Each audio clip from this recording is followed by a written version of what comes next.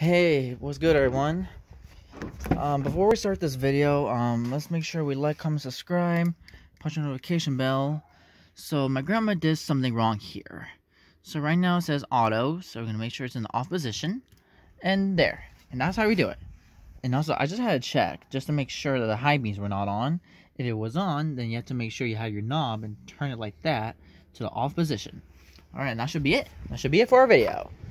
Alright, so that should be it. That should be it for our short little little car lesson. So after that, you just go ahead and lock it up. And looks like that's it. So on that, um, thank you so much for watching this video. Um, I hope you had a great time. Please comment down below in the comment section. Like, comment, subscribe. Punch your notification bell so that you do not miss an upload by me. And after that, make sure you follow me on Instagram and Twitter under the description right there down below. And looks like I'm to go ahead and turn this, this car lesson video off now. So on that, I catch y'all. I'm out. Boost.